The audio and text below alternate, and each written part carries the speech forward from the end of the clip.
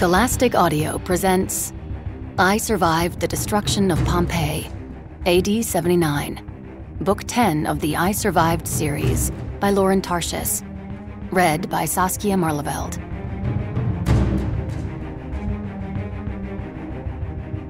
Chapter 1 August 24th, AD 79. 1 p.m. The city of Pompeii, the Roman Empire. Within hours, thousands of people would be dead. The entire city of Pompeii would vanish under more than 30 feet of fiery ash and stone. But first, it was a bright, sunny summer day. Shops bustled, kids played ball in a grassy field, gladiators readied for a bloody match. Nobody yet knew that the mountain Vesuvius, which loomed over the city, was actually a deadly volcano. The mountain had been silent for centuries, a giant green triangle covered with farms and meadows and forests. It was impossible to imagine what lurked under the ground rivers of boiling magma, swirls of poisonous gases. Any moment, the mountain would erupt with devastating fury. 11 year old Marcus was with his father, Tata. They shouldn't have been anywhere near Pompeii. They were escaped slaves, running for their lives from evil men. But then. Boom! Boom! With two shattering explosions, Vesuvius erupted. Thousands of pairs of eyes turned toward the mountain, staring in shock and terror. Black, billowing smoke and ash gushed out of the mountain's gaping mouth. Vesuvius roared like a furious beast, breathing smoke and flames into the sky. And then came an even bigger cloud, shooting out billions of hot, jagged rocks that rained down on Pompeii, filling fountains, crushing roofs, and pounding down on people as they tried to flee, screaming in panic. The gods are punishing us! The world is ending! Marcus and Tata knew they had to escape. Any minute, a flaming wave of ash and gases would rush down the mountain, burning everything in its path. But there were too many people in the streets, too many rocks falling from the sky. It was hard to breathe, almost impossible to see. And then there was the strange whooshing sound that came from above. Look out! Tata shouted. Marcus looked up just in time to see a massive flaming boulder falling from the sky, a chunk of fiery rock from deep inside the mountain. It was heading right for them. Chapter 2 August 23rd, AD 79. The afternoon before. Main Street, Pompeii. Marcus walked along the dusty main street of Pompeii carrying a smelly sack stuffed with his master's dirty laundry. It was early afternoon, and the street was packed with people. Shoppers sifting through bins of pomegranates and melons, weary slaves collecting water from the fountains, beggars holding out their grimy hands. A snake charmer dozed while his cobra peeked out of its basket, tasting the air with its flicking tongue. Salve, Marcus said, a friendly Latin hello for the deadly reptile. If only he had a basket to hide in right now. There were no good days for Marcus lately, but this day was sure to be more miserable than usual. It was broiling hot, and his ragged tunic was soaked in sweat. Even worse, his master, Festus Julius, was expecting important guests from Rome this evening, friends of the emperor. This meant even more back-breaking work than usual for Marcus and the other slaves. For days, they'd been scrubbing the villa so that the mosaic floors shined like diamonds, so that every silver bowl and goblet gleamed. The guests would arrive by chariot, men in flowing white togas, women in silk robes and with painted red lips, jewels flashing from every finger.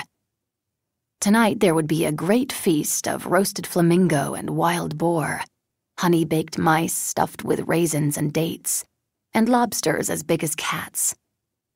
The guests would lounge on silken couches and gorge themselves until they threw up. And then, their stomachs empty, they would eat more. Tomorrow, Festus would take them all to the gladiator fight at Pompeii's amphitheater. From front row seats, they would cheer as the warriors tried to stab one another to death with swords, spears, and daggers. People were coming from all over to see the spectacle, which featured Pompeii's champion fighter. He was a giant of a man who had lost an eye in one of his early battles. The injury had earned him the fighting name of Cyclops, after the one eyed monster from the old Greek tales. Like almost all gladiators, Cyclops was a slave who was forced to fight. But he was one of the lucky few, still alive after many battles. Just thinking about these brutal tournaments horrified Marcus. Suddenly, his whole body was shaking. But wait, it wasn't Marcus who was trembling. It was the earth beneath his feet. Marcus dropped his sack and braced himself against a stone fountain. A huge marble statue of the warrior Achilles looked down on him. Marcus wished he felt as brave as Achilles. But these tremors spooked him. For weeks they'd been shaking the city, putting cracks in the walls of Festus's villa, sending his spoiled dogs into fits of howling. Usually the quakes were quick, ending in just a few seconds. Most people seemed to barely notice them.